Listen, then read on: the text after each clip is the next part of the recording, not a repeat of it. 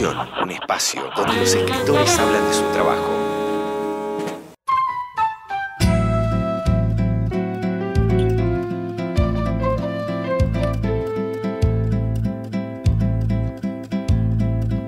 Meu samba é a voz do povo. Se alguém gostou, eu posso cantar de novo. Meu Vivir afuera es muy de Buenos Aires. La luz de Buenos Aires está logradísima. Logradísima. El- la relación urbes, ur- ciudad-suburbio también, ¿no? Este, sí, aparece, está, está, está en todas partes, ¿no? O meu nome foi pra lista na mesma hora dos que iam ser mandados. Este Buenos Aires de mierda que vivimos ahora, con esta musiquita y las autopistas, la ciudad sitiada, con el barrio de Palermo, Hollywood y todo demás, está, está, consta- con- está narrada su construcción y su proyecto de construcción en, en otro orden de cosas que vos no leíste. Otro orden de cosas es la historia de un tipo que pasa a hacer la revolución a trabajar en la construcción de las autopistas que cambiaron el, el sentido de esta ciudad y el perfil. Y el- ¿no?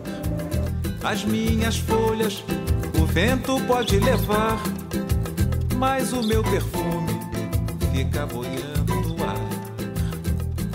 Meu samba é a voz do povo.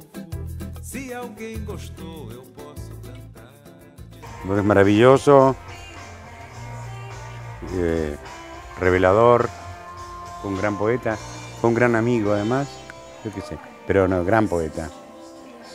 Cinco libros quería, me llevaría cinco, cinco ejemplares de este. Si estuviera, si estuviera en francés, este es un gran libro. Este es un libro que no compraría. Me parece que es un gran poeta, Houellebecq, pero no, pero bueno, su primer novela estaba presente y se fue, se fue, fue en decadencia y no para. En realidad si me regalan 10 libros me llevo libros de referencia, me llevo diccionarios, manuales de cosas, ¿no? Caros, ¿no? Se alguém gostou, eu posso cantar de novo.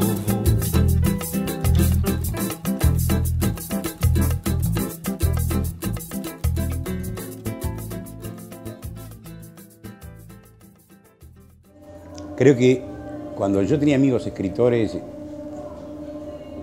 que eran Briante y Lamborghini, que eran buenos escritores, y éramos tr- tres marginales direct- directamente, había alguien más. Como- digamos, no existía el sistema editorial, no, no estábamos nosotros en el sistema editorial, ¿no? Eh, pero ahora los escritores son máquinas de leer noticias, de leer ñ y de leer los suplementos culturales para ver quién va primero, quién va segundo, a quién lo levantan, a quién lo bajan. Este, todo, eso, todo eso deteriora, digamos. Mejor sería no tener amigos escritores. Lo mejor sería, ¿sabes qué? Tener amigos ricos.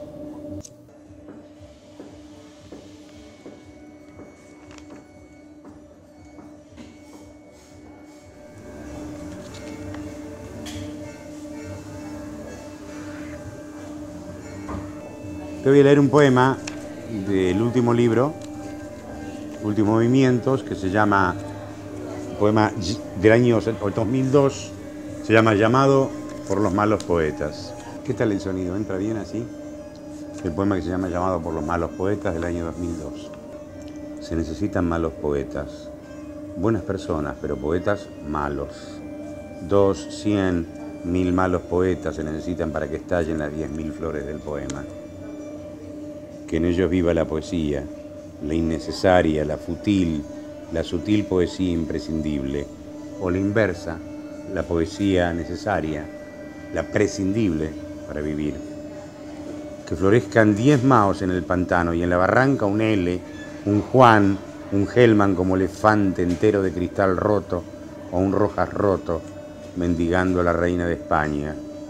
Ahora España ha vuelto a ser un reino y tiene reina y rey del reino. España es un tablero de alfiles politizados y peones recién comidos. A la derecha, negros, paralizados, fuera del juego. Y aquí hay torres de goma, alfiles politizados y damas policiales vigilando la casa. A la casa del hombre por hambre corren todos y saltan de la cuadrícula y son comidos.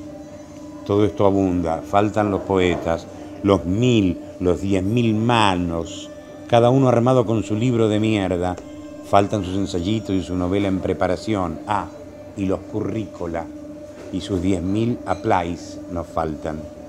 No es la muerte del hombre, es una gran ausencia humana de malos poetas. Se necesitan nuevos sentimientos, nuevos pensamientos imbéciles, nuevas propuestas para el cambio, causas para temer, para tener aquí en el sur. Y arriba, España es un panal de hormigas orientales, rumanas, tunecinos, suecas a la sombra de un rey. Riámonos del rey, de su fealdad, de su fatalidad, de su graciosa realidad. La realidad es un ensueño compartido.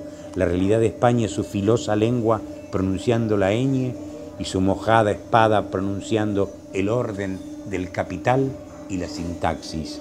Ay, lengua, aparta de mí este cuerno de la prosperidad clavado en tu ingle, suturada de chips, y cubre nuestras heridas con el bálsamo de los malos poemas. Cabe.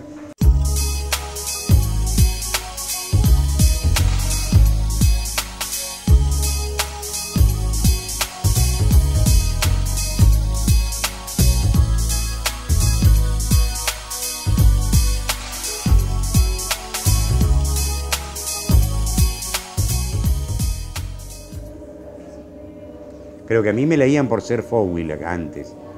Y ahora los buenos lectores me leen a pesar de ser Fowil.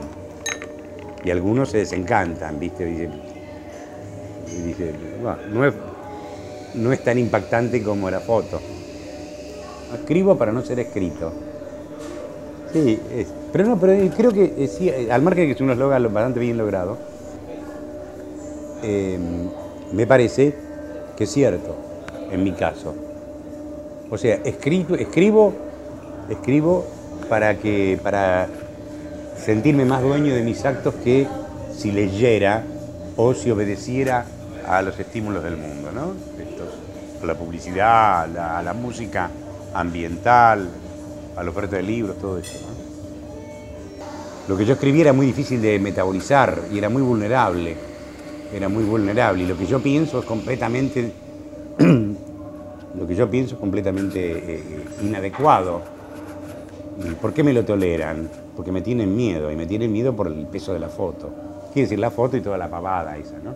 Eso lo aprendí de Leónidas Lamborghini en aquel poema famoso sobre el arte poética que decía, lo importante no es la belleza, nada, lo importante es provocar miedo, ¿no?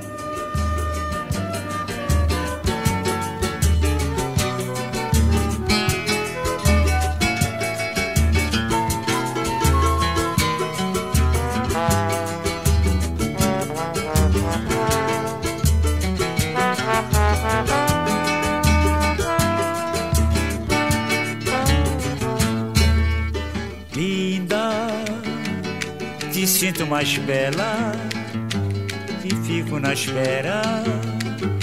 Me sinto tão só mal do tempo que passa em dor maior, bem maior, linda.